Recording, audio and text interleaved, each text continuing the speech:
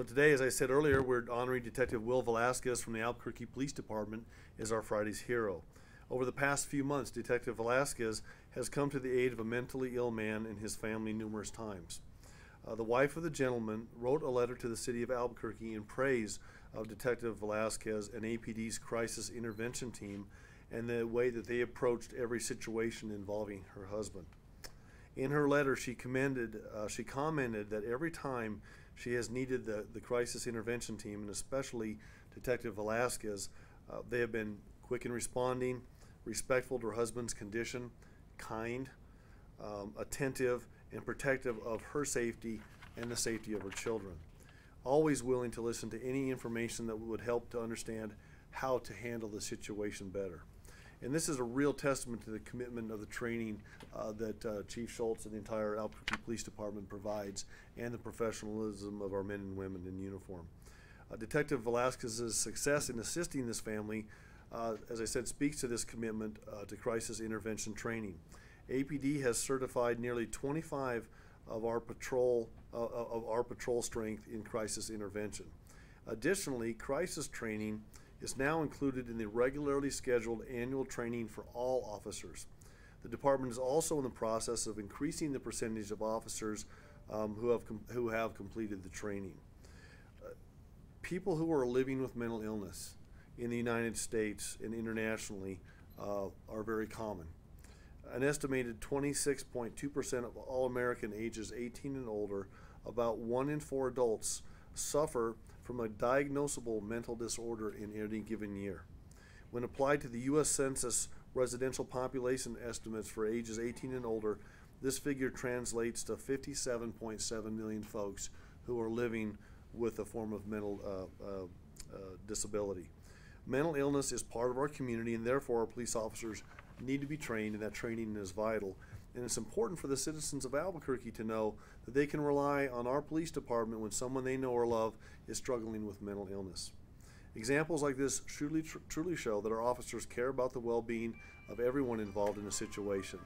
And Chief Schultz is going to talk about this a little bit more, but I think one thing I'd like to add is this idea that, that the men and women of the Albuquerque Police Department and also the men and women of our Albuquerque Fire Department on a daily basis encounter individuals in our city who are struggling and living with mental illness. And it's the right thing to do to have this robust amount of training. It's the right thing to do to treat individuals with kindness, with respect.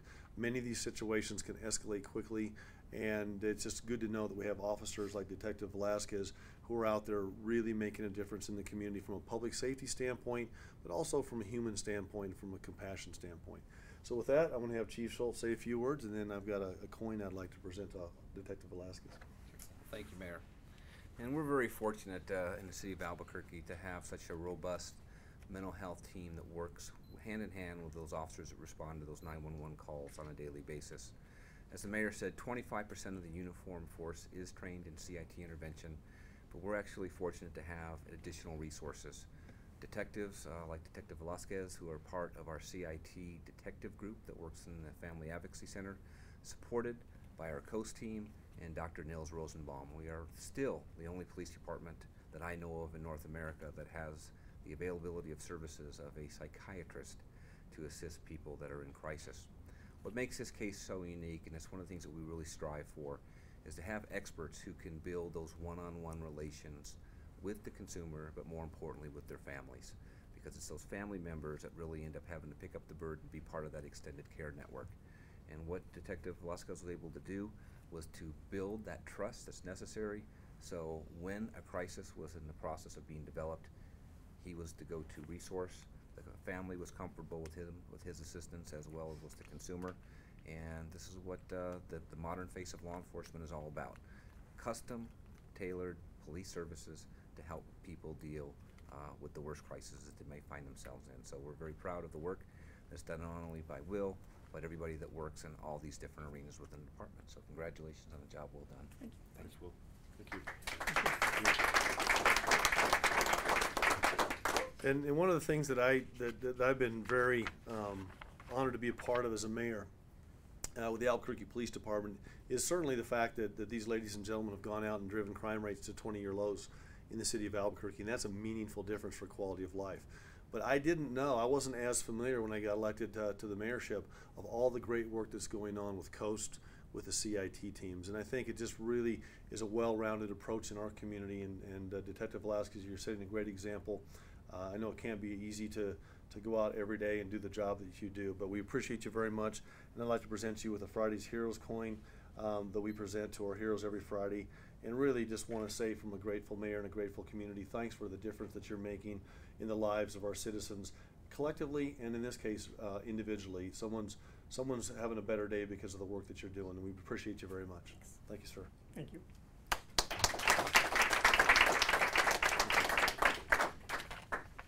It's nice to see who's who's family here from Detective Velasquez. We got family?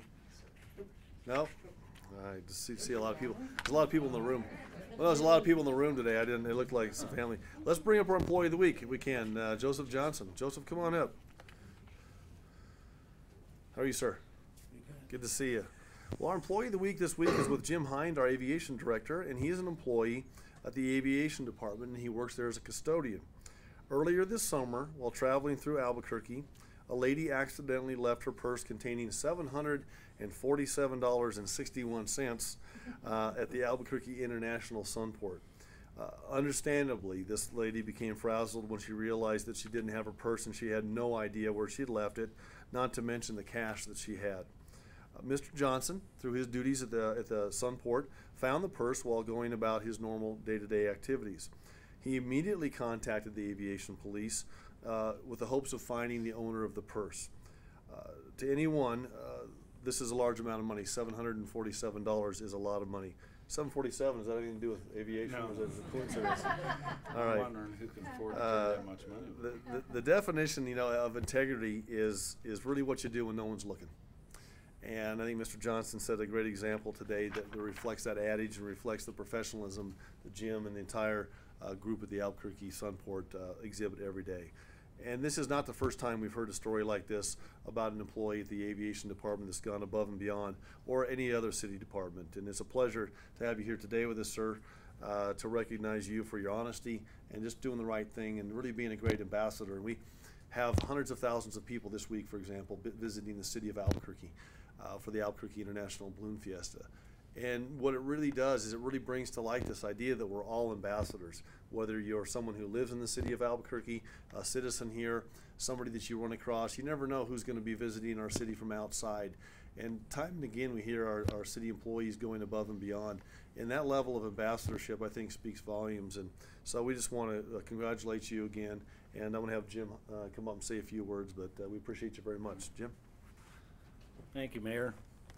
Well, Joseph is one of our solid custodial um, personnel out at the airport. He's a very quiet guy. He's a pretty shy guy. Um, and he is part of a division, though, that is, as the mayor said, the ambassadors for the Sunport. Uh, the first thing people see generally when they get off the airplane is a restroom. And these guys keep the restrooms in tip-top shape. The terminal itself is always beautiful.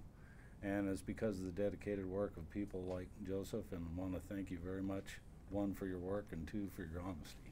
Thank you, sir. And we, um, you know, the International Sunport, the Albuquerque Sunport is really great front ports for our community. And I hear a lot as a mayor, wow, your airport's great. We love flying into Albuquerque. It looks beautiful. You guys are keeping it spotless. I think um, a while back, didn't somebody do a story about trying to, you know, the dirtiest The places germs, around? looking for And one, germs. and one of the things that they thought they'd do is, well, why not go to the, the to the bathroom at the airport? That's got to be a, a horrible place, and I, I don't think they could grow anything off, off the petri dishes. So it's just it's just awesome that, that you're you're putting this foot forward. So we have a we have a mug for you, sir. Um, for, for coffee to keep you going, I guess, or whatever whatever that is, and then we have an employee of the week uh, certificate for you, as well as a letter for your personnel file. So, thanks again. Uh, we really appreciate you very much. Thanks. Thank you, sir.